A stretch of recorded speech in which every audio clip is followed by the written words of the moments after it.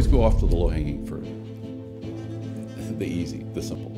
I, that's just wrong with that. I mean, why, why do something hard when you do something simple? I get that, but at the same time, God has He hasn't always made it easy. You know, why did God speak in parables? Why didn't He just speak plainly? Why was God purposely obtuse sometimes? Why does He whisper to us? Why does He yell at us? There's a requirement that we lean, we have to lean in. We have to move forward in our seat. We have to say, no, what?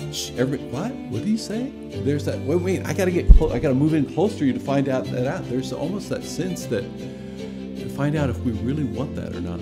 Are we willing to find something and say, I'm to sell all I have and dig? That's a big challenge. And frankly, most people aren't willing. They're not willing to sell all they have and go all in, you know, like Texas Hold'em, go all in on the Lord. That's a big ask, and I think purposefully so.